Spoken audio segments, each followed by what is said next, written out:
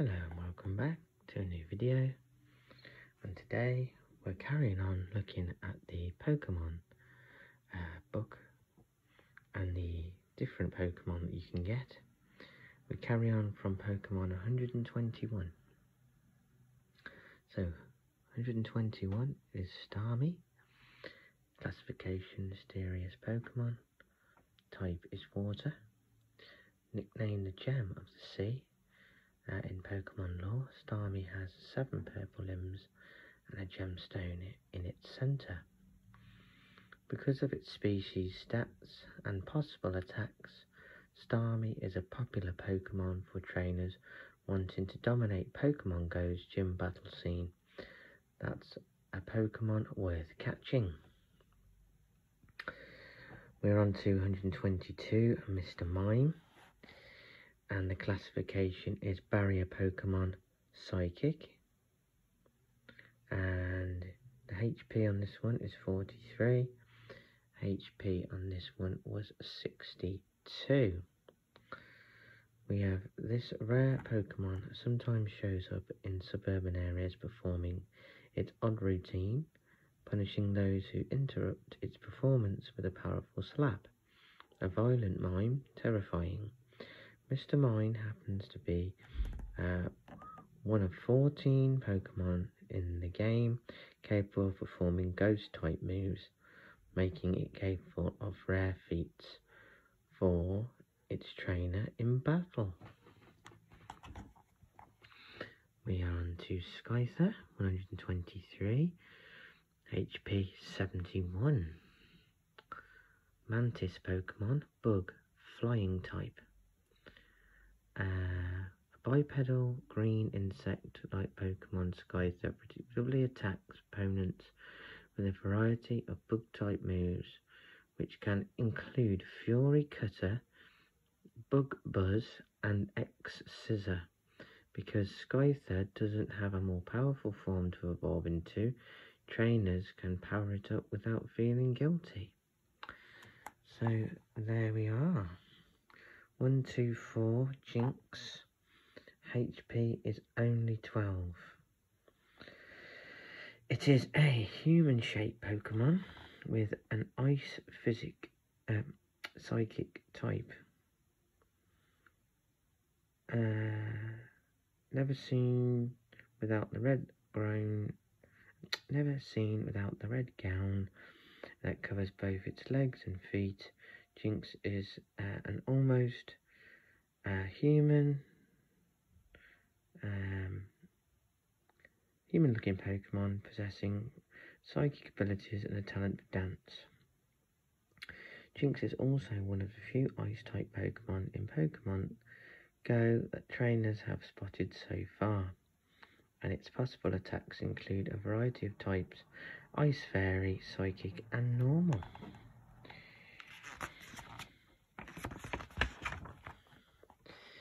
And Electabuzz is next. Electabuzz, HP is 26. It is a electric Pokemon with type electric. Uh, the lightning bolt stripe across its chest makes it clear to any observers that Electabuzz is a Pokemon that relies on electrical powers to prevail in battle and to protect itself from aggressors as a result, almost all of this Pokemon's attacks are electric type, with the exception of Low Kick, which is a fast fighting type attack. So, a very uh, interesting Pokemon and one I liked, especially if you watched it in the original days where Magmar had a fight with Charizard. Uh, Magmar is 126 a Spitfire Pokemon, Fire type, HP is 46. Its puckered yellow beak might make Magmar look like a duck, but this bold looking Pokemon um, is, is a handy monster to use in certain gym battles.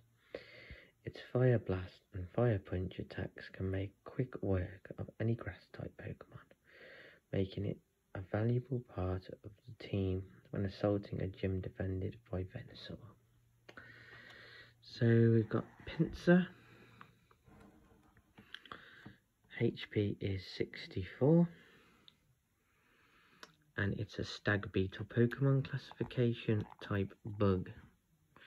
Pinsir's, massive pincers are deployed to mangle opponents in a violent assault um, of snapping, tearing, slicing, and poking. This aggressive bug type Pokemon doesn't evolve into another form, so Pokemon Go trainers should feel free to power up this frightening looking monster. Uh, Tauros, which is a HP of 39 there and classification wild bull Pokemon type is normal. Tauros, an intimidating bullish Pokemon with two horns and three tails, loves to work itself up into a frenzy. In Pokemon lore, it can be found in forests and charges anything that crosses its paths. path. Tauros prefers to hang out in North America meaning players there can take advantage of its powerful attacks such as Earthquake. And number 129, I think there's one, 151 altogether, is uh, Magikarp, which is a HP of 25, and Fish Pokemon is its classification Water type. The most humble of all Pokemon Magikarp is no doubt a familiar, if not altogether a welcome sight for anyone who logged in time to Pokemon Go. Um, the fish Pokemon's primary purpose is to evolve into a fearsome Gyarados, but until then, it remains a slightly distressed looking addition to Pokedex. So, um, yeah, this Magikarp goes to Gyarados, which is quite a difference. 130. And the HP goes to a whopping 119. So we've got uh, atrocious Pokemon classification water flying type. After stuffing it with 400 candies, the lowly Magikarp evolves into Gyarados, one of the most powerful Pokemon in the game.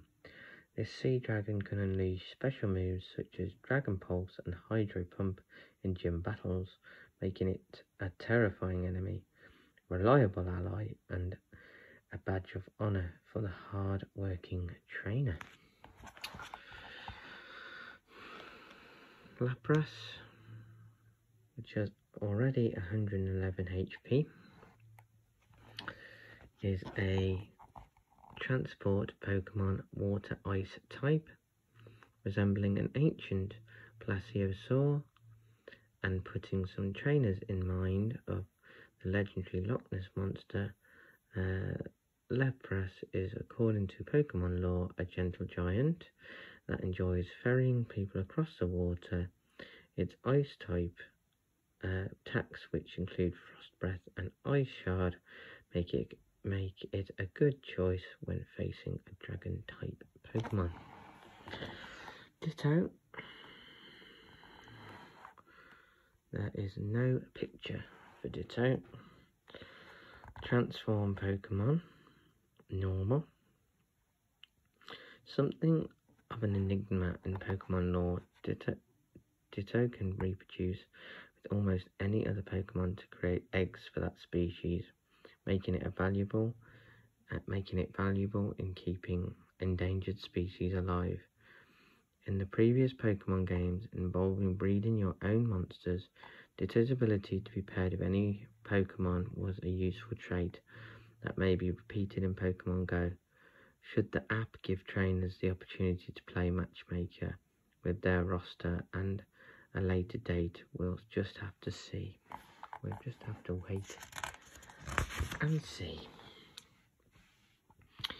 Here we have one of the most famous Pokemon in the game. Eevee HP is 52. It is an evolution Pokemon and normal type. believed in the Pokemon universe to possess a unique generic structure that allows it to adapt perfectly to any given environment. Eevee is known um, as an evolution Pokemon because the tiny uh, quadruped can become one of three different evolved Pokemon after Eevee, Candies, Vaporeon, Jolteon and Flareon. And if you've watched any of my other videos, you'll see that I have quite a few tins of Eevee and its evolved um, type of Vaporeon, Jolteon, and of course my favourite, Flareon. So Vaporeon is a bubble jet Pokemon classification and is a water type, 109 HP. Um, one of the Pokemon Eevee could choose um, to evolve into is Vaporeon. Has a mermaid-like tail and gills in addition to its back legs. Although Vaporeon is not quite the powerhouse it was from the game's early days, this Pokemon is still a solid choice for any trainer hoping to control their neighborhood gym. And then we have another evolution, which is Jolteon. Lightning Pokemon, electric type, 81 HP.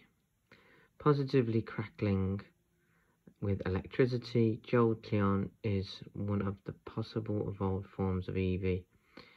As befits its shocking nature, Jolteon assaults opponents with a variety of electric-based attacks, including Discharge, Thunder, and Thunderbolt, which are especially damaging water-type Pokemon. 136 Flareon, which only has HP of 24. Um, flame Pokemon, Fire type.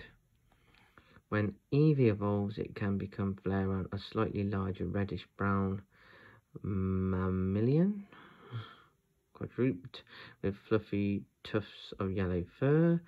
Pokemon lore states Flare's main weapon is a sac in which it can store and heat air, making it literal fire breather, hence its attacks are all fire type, including Heat Wave, Fire Blast and Flame Thrower.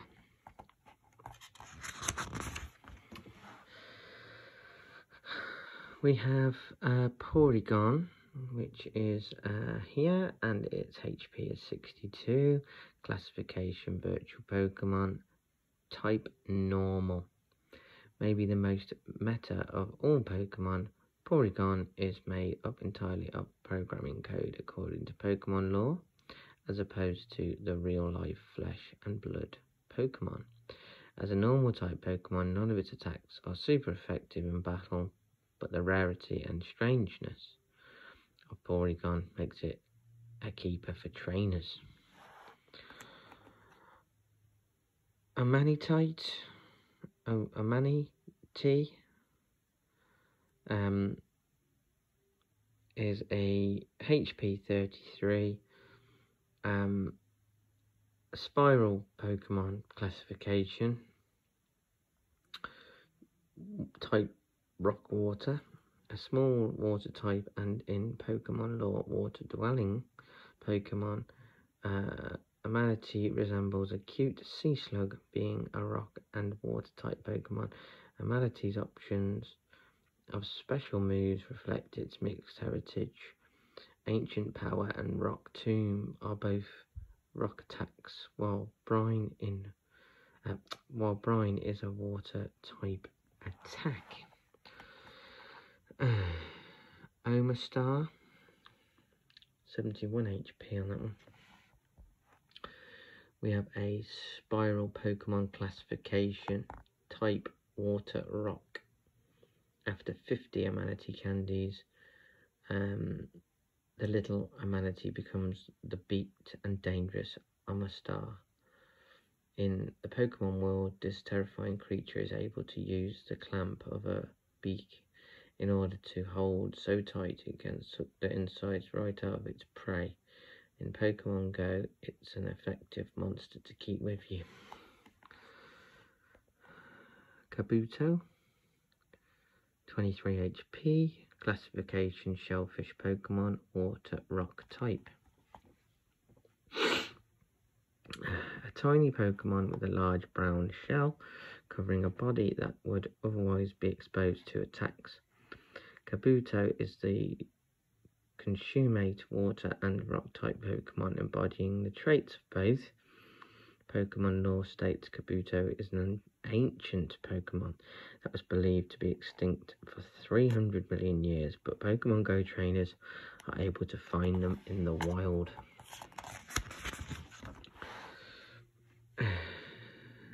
Which then we've got uh, Kabutops, HP goes to 64.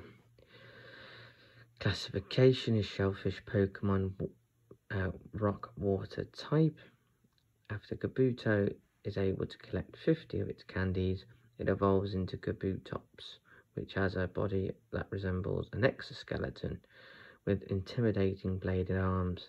A solid rock type Pokemon for any trainer looking to fill out his or her collection. Kabutops helps round outline up for gym battles and is effective against other types such as bug and fire type. Aerodactyl. HP 56 Fossil type classification rock, rock type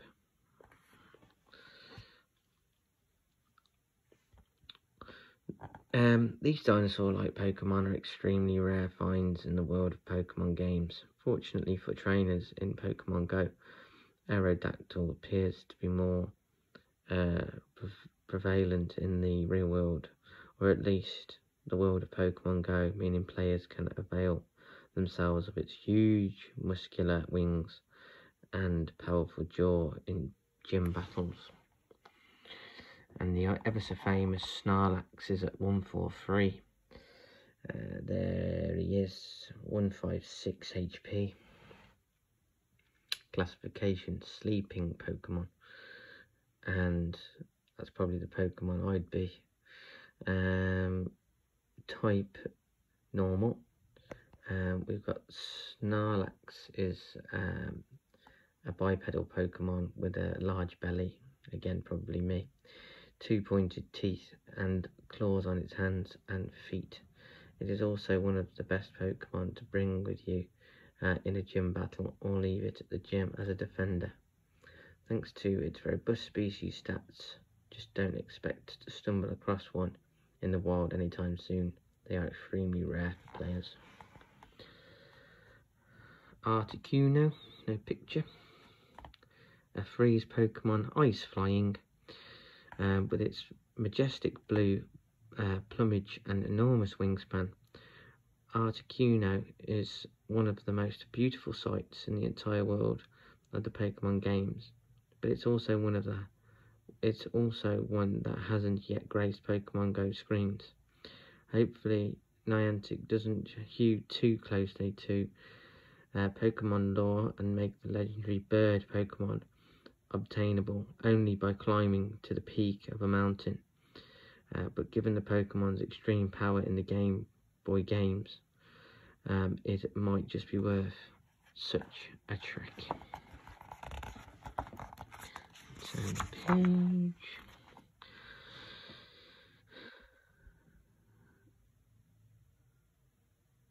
Zapdos. Oh no, that was a double O then, but it's a DOS electric um, Pokemon classification type electric flying in Pokemon Universe Zapdos um, is one of those one of three legendary bird Pokemon and as you might expect from such a title both extraordinarily rare extraordinarily rare um, and unbelievably powerful. The game's lore states that they live up in the thunderclouds and often cause storms to occur by flapping their wings. While trainers have to, um, while trainers have yet to find the bird Pokemon, whether on the ground or in the air, its power and uh, utility in previous games in the Pokemon franchise indicate it will be more than worth the wait. Legendary Pokemon's primary power in other gains is pressure, which decreases Zapdos' opponent's energy and makes it more difficult for their foe to attack. Uh, Moltres, Flame Pokemon, Fire type Flying. Pokemon lore identifies Moltres as an extremely rare fire type Pokemon that shares many traits with the uh, Phoenix of mytholo mytholo mythology. I'll get my words out in a minute. In the real world, most importantly, the ability to heal itself via an orthodox means. Both the Phoenix and Moltres regenerate their uh, uh, vitality by drawing uh, vitality by drawing upon the power of fire in Moltres' case, diving into the magma of an active volcano. Each time it flaps its massive wings, live embers produce bright flames that trail behind it. The bird has yet to make an appearance in Pokemon Go, and players shouldn't hang around active volcanoes in their search for legendary Pokemon. It's more likely uh, Niantic will reveal the Pokemon in a, in a dramatic fashion.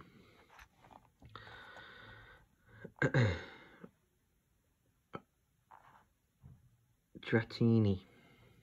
Dratini. HP 43. Dragon Pokemon, Dragon type.